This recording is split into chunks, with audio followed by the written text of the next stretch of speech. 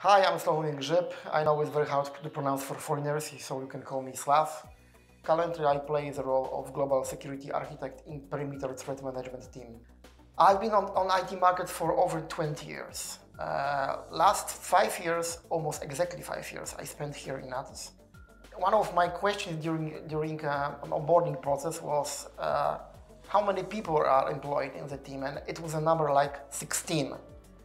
After these five years, this team uh, consists almost of 200 people.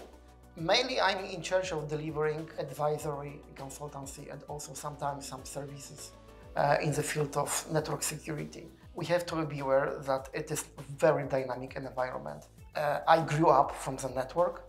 I switched later on to the network security, and I love still development. Uh, Atos was a company uh, which also allowed me and enabled me for my scientific development. In two weeks, I'm gonna defend my PhD in the field of uh, automatics because, in fact, security and especially computer networks belong to automatics and robotics.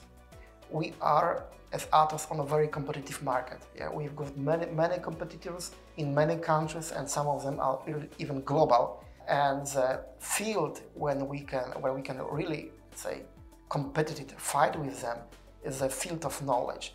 Probably that is the reason why Atos also invest in super new technologies like quantum computing, for example. Thank you and wish you good luck.